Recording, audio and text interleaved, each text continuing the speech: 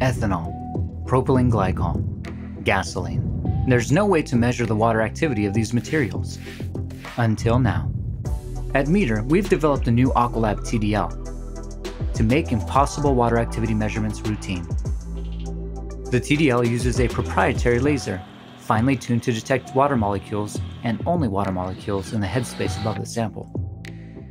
The beam of the laser, which is less than 1 nanometer wide, is specific for water. Other vapor molecules don't affect the reading.